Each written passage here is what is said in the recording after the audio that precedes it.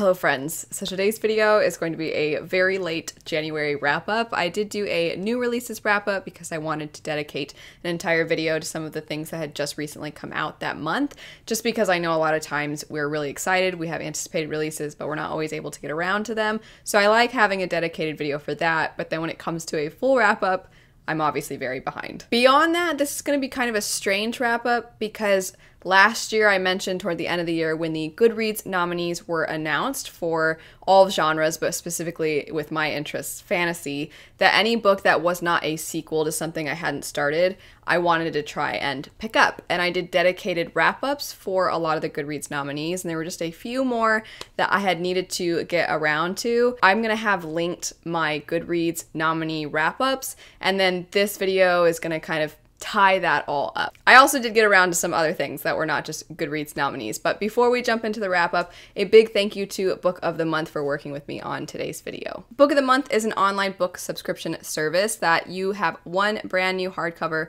that you get to choose out of a selection of options of different genres every month. There's no penalty if you would like to skip any month. You can do that. You also have add-ons and you can get up to two add-ons each month for a total of three books. The add-ons are great because you you can pull from previous options that they had. And speaking of options, in the past they had five different options, and they were all a wide range of both debuts or sometimes they would be returning authors and then also different genres. And because they want to try and ensure that there's always something for everyone, they're actually going to be expanding. So moving forward, you're going to see anywhere from five to seven picks, and this particular month they actually have seven, so we'll go through those now. First off, we have a thriller called The Book of Cold Cases, a perfect read for every true crime fan who suspected they might just get to the bottom of things better than the pros. After that, we have a fantasy called The Cartographers. When her father turns up dead in the New York Public Library, a disgraced mapmaker has to find her true north ASAP.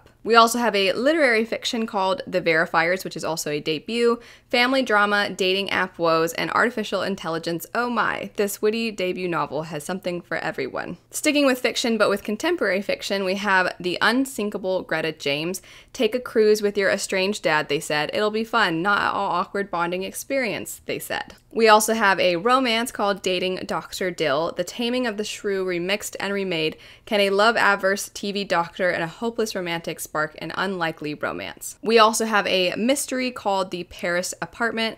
Sometimes you visit the City of Lights and the vibe is just off. You know what I mean? And then we have a true crime called Tell Me Everything, an unforgettable, thrilling look at the life of a private investigator working to uncover evidence for a historic case. If you're looking to check out Book of the Month, I will have everything linked for them down below, as well as a coupon code that you can use so you can get your first box for discounted. Getting into the wrap up, I'm going to start with some DNFs, and I'm actually going to start with a DNF that it's a little bit uh, unexpected. So at the end of 2021, kind of beginning of this year, I was doing wrap up style videos for all of last year. And one of the videos was series that I had started that I plan to continue on with. And one of them would be Realm Breaker by Victoria Aveyard. And I mentioned in the video that I hadn't actually completed the book, but I was enjoying it and I could see myself continuing on with the series. So it's a little funny that I've since DNF'd that book. But there wasn't anything wrong with it. I didn't dislike it. I was just finding I wasn't really wanting to come back to it. And the way it was set up, it definitely felt like it was laying the foundation for an epic fantasy world while doing so within the YA age range, which you don't see too often. It had a lot of different points of view, and there were some twists in it that I was finding really interesting but I just wasn't connecting to any of the characters. And even though the world itself felt rather unique, something about it ultimately also felt familiar at the same time. I think it was the character types that we were seeing. So we have a main character who her mother is a little bit morally gray, has to do with some pirating, we'll say, and the daughter really wants to follow in her mother's footsteps. She really wants to work alongside her mother, and her mother's like, This isn't safe for you. And the daughter kind of has this rebellious streak where she really wants to go on her own path. So we have that character who is a little bit at odds with their parental figure. They want to find their own destiny. They also have a little bit of a chosen one feel. And then you have a lot of other characters that it just kind of, it was a great cast of characters, but it felt like characters I had seen before. And it could just be because it's young adult. I think that a book like that is great for younger readers because they won't have been introduced to these character types or if they have they're not they're not used to them at this point. And so I can see it being a great entry for younger readers. But having read a lot of fantasy at this point, it's not that the plot is generic, it's just that I've seen it a lot having read a lot of epic fantasy, if that makes sense. So ultimately, it was a DNF, but I wouldn't want to dissuade anyone from picking it up if you do like epic fantasy, but maybe you're a little overwhelmed by some of the really big epic fantasies out there, this might be a really good place to start. Another one that I ended up DNFing, but this is not one that I plan to never pick up again, I actually would like to pick this one up at some point, and that would be The Unbroken. So at the time that I had picked this one up, it was one of those it's not you, it's me situations where you know how sometimes when you go to pick up a book, you can just sense that you're not in the mood to read that book. And when I picked it up, I could just feel myself drifting as I was reading it and wanting to pick up other things, and it was no fault of the books. The next one would be Lore. So, this was once again another Goodreads nominee. The plus side to picking up the Goodreads nominees is that I picked up a lot of books I likely wouldn't have picked up otherwise, and I ended up finding some that I really was surprised how much I enjoyed them. But then there were other ones that I really wasn't all that interested in picking up because I have a pretty good idea of my own reading tastes and Lore was one of the ones that I was like, I don't I don't know. I don't know if that's going to be for me. And I picked it up. I got about 80 pages in. And I actually really liked the main character. So the setup is also really cool. There's so much about it that seemed really cool to me. So you have these gods and goddesses that it turns out are real. And there is a certain period of time where you can kill these gods and goddesses and then take their power for yourself. Our main character clearly has some kind of attachment in her past to this situation, but wants nothing to do with it because they have lost someone or someone's, some people that they were really close to. And so now you're kind of wondering what's their backstory? What happened? What's going on with them? And when you first are introduced to this character, I'm not gonna lie, for those of you that have seen the show Arcane, the character reminded me a little bit of Vi. So I was really into it at first. And I feel a little bad, but as the story progressed, it strangely felt like it was a sequel. Because I'm not trying to poke fun at this, but the character, as you often see with wounded characters that have a mysterious backstory, they've lost someone in their life or they've lost family members. And this character I feel like everybody was dead in their past. So there would be they were she would reference when she was thinking back on things. She would think about this one person who was a really big influence on her and she didn't want to let them down and she wanted to make them proud. And then she would think about family members that are separate from this other person. And then she would think about this friend that she knew, and then that person would show up, and then she was like, "Wait a second, but you were dead." And I was like, everybody was dead, so like, so I, I just felt like I picked up in a sequel, and so when the plot did start moving forward, even though I thought it sounded really cool once I was invested, I ultimately didn't feel connected. And then so when the plot started to pick up, I was like, I don't care. Reiterating again, I did do an entire video dedicated to new releases that I had picked up in January. I just want to quickly go over these were Red Palace, Engines of Empire, and Daughter of the Moon Goddess. So this one I did an entire dedicated review for, and hopefully at some point I can do a live show for patrons with a couple of my friends for this one because I absolutely loved it. Daughter of the Moon Goddess I also did do a patron live show for this one with my friend Jesse. So I quite enjoyed both these, but Engines of Empire is a new. I just I need the sequel. I need it. I need it now, but I don't. I don't get it now. and then Red Palace is a murder mystery, but it's actually historical fiction murder mystery. So it's not a fantasy, and it takes place in Korea. So you get a lot of historical aspects from that time period as well as just cultural things that play a role in trying to solve this murder. So I thought that was really cool. I haven't really come across a book quite like that, and I know the author has written other stories in that same fashion. Engines of Empire follows this technologically advanced fantasy society. It's an epic fantasy, but you see this one particular family called the Hawkspur family who is partially responsible for innovation. However, the more you get to know about these family members, the more you start to see society for what it is and the people that get left behind and the people that get used. And I, man, I really liked that one. And then Daughter of the Moon Goddess is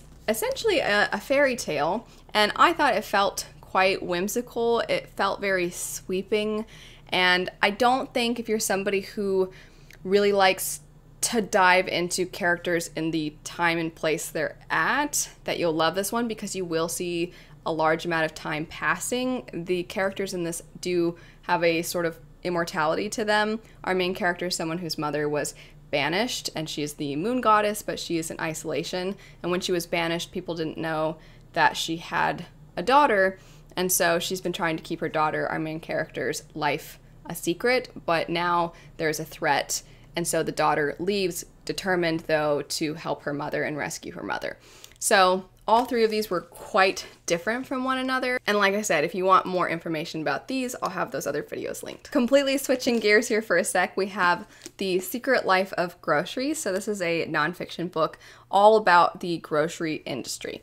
And I just kind of picked this one up on a whim when I was at a bookstore one day. I was looking for some other nonfiction and I saw this one. I read the synopsis and I thought, that sounds interesting.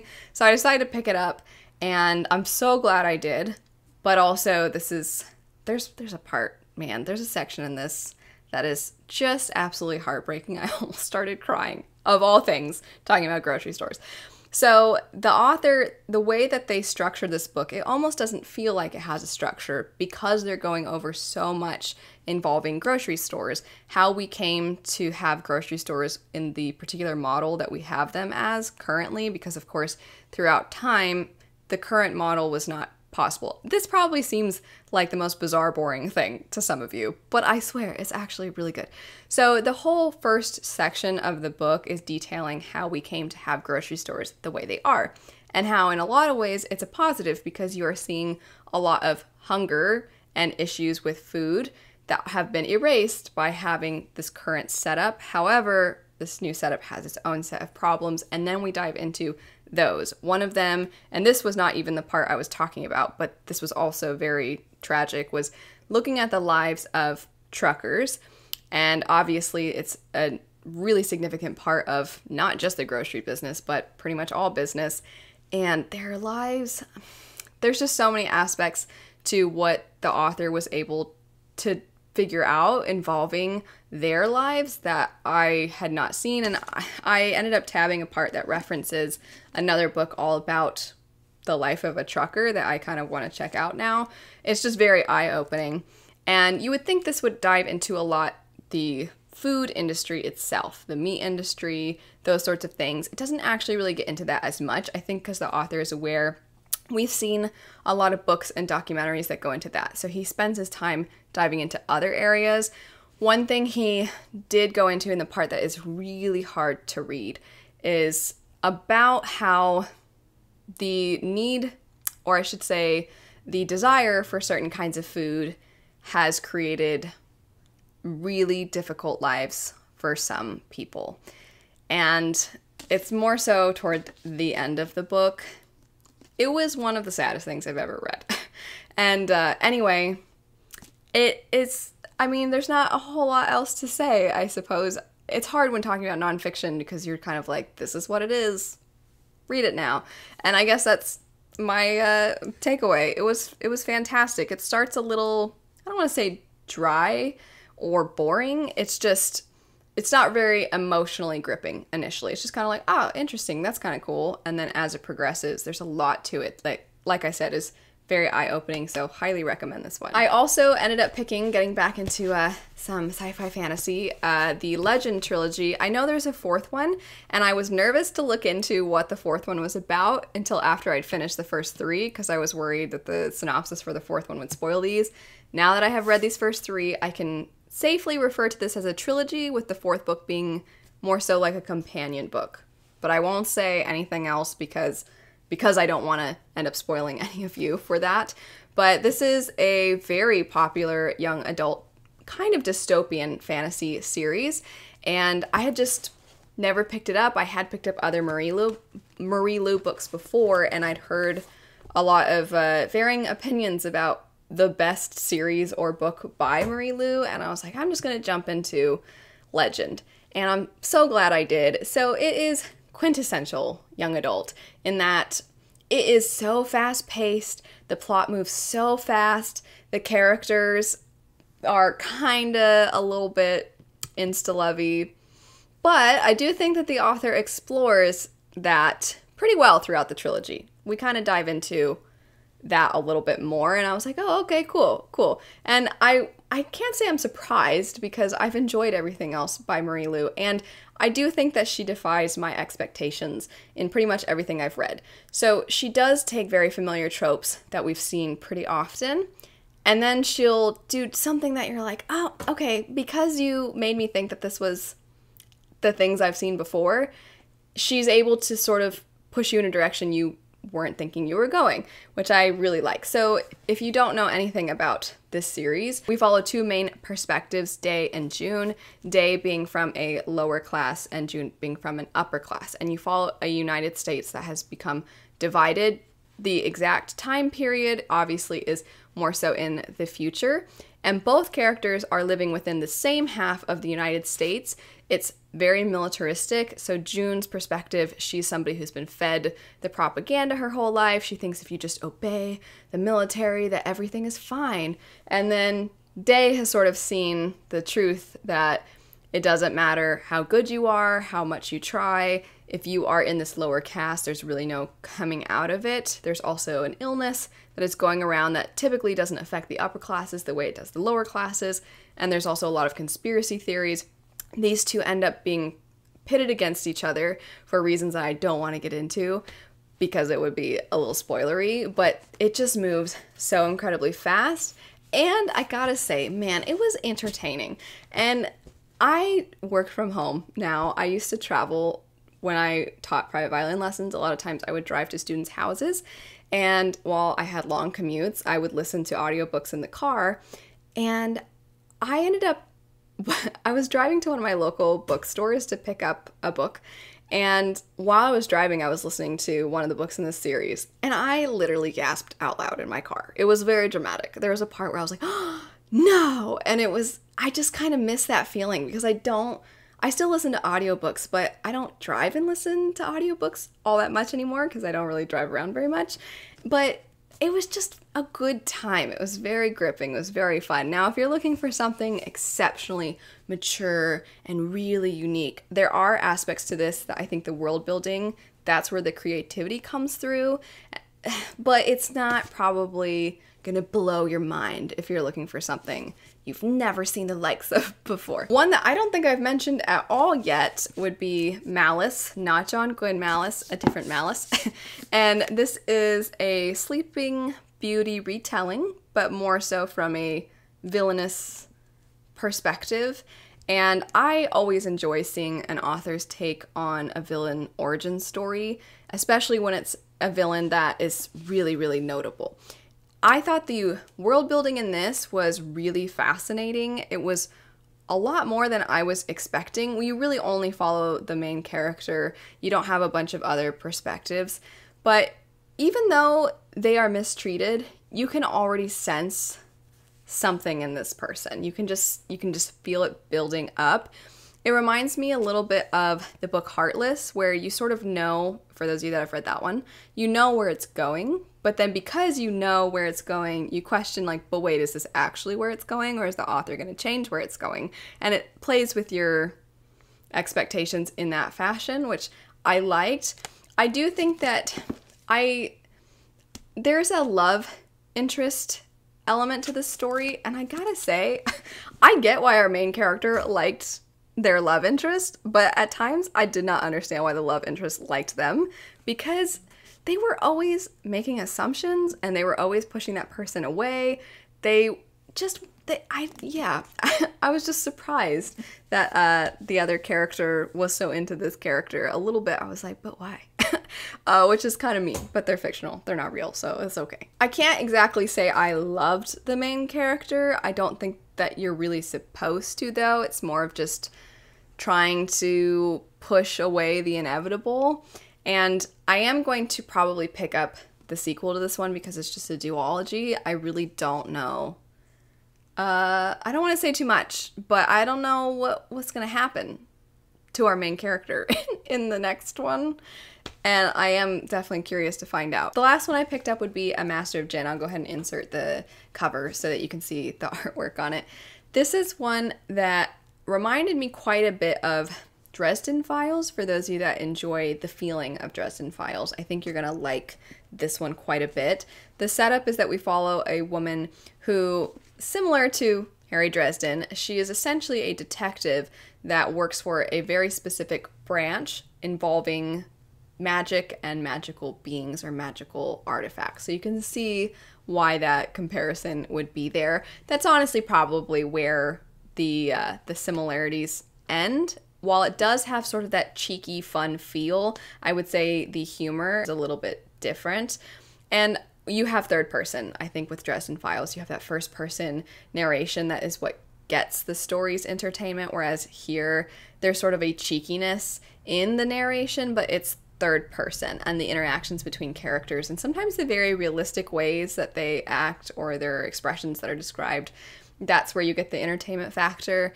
I really liked the setting. That is the thing for me that was probably my absolute favorite element to this book. The setting is early 1900s Cairo, and you're seeing all of these different aspects to that place at that time. Anyway, so I really appreciated all of all the details that went into crafting the world and the characters were all it was a perfect sort of murder mystery setup within a fantasy because I think a good murder mystery you have all these these personalities, right? You have all these characters that you're like, "Wait a sec. Is it that person? Is it that person? So the setup is right from the beginning. You have this very strange murder involving something magical. In the rest of the story, you're following our main character, who is this detective person trying to solve this big murder. And there's so many elements to it that the author, it can't just be your typical murder mystery. Because of the fantasy elements, the author kind of has to bring you along and introduce these fantastical things. For me, I loved the majority of the book, and the ending actually wasn't my favorite, mainly because while the stakes themselves were raised exponentially, I didn't feel like the characters' fear of what was happening was really matching the severity. So it felt like a slight disconnect between here is how serious the situation is, and here are the characters kind of still joking around a little bit. Like they understand, hey, we can't let this potentially world altering thing happen except for also here's something silly and snarky. And the silly snarky aspects worked really well for the rest of the book, but then as the stakes were raised, I almost kind of wanted them to not do that as often. But that's not how I think everybody's going to feel. I think some people are going to appreciate that it doesn't get very doom and gloom as the story progresses. I could absolutely see this as a really, really fun movie. I'm not a huge movie person, but I think this could be a really fun movie. And I kind of want it to happen. And it, in a strange way, at times reminded me a little bit of second era Mistborn because I think there is that almost detective feel in second era Mistborn as well. And you have the character Wayne, who is always derping around. And I actually have a similar complaint about Mistborn Era 2. I'm always like, can Wayne be more serious, please? And I kind of had that feeling in this also. But I wanted to make that comparison in case you've read Era 2 and you love that feeling and that tone, then maybe you would really, really like Master of Djinn. That's it for my very late January wrap up. Let me know if you've read any of these, what your thoughts are on them. Let me know if you're planning on picking any of them up. I will have any relevant links in the description bar down below, as well as for Book of the Month. A big thank you to them again for working with me on today's video. But anyway, thanks so much for watching. I hope you have a lovely rest of your day, and I'll see you all later. Bye.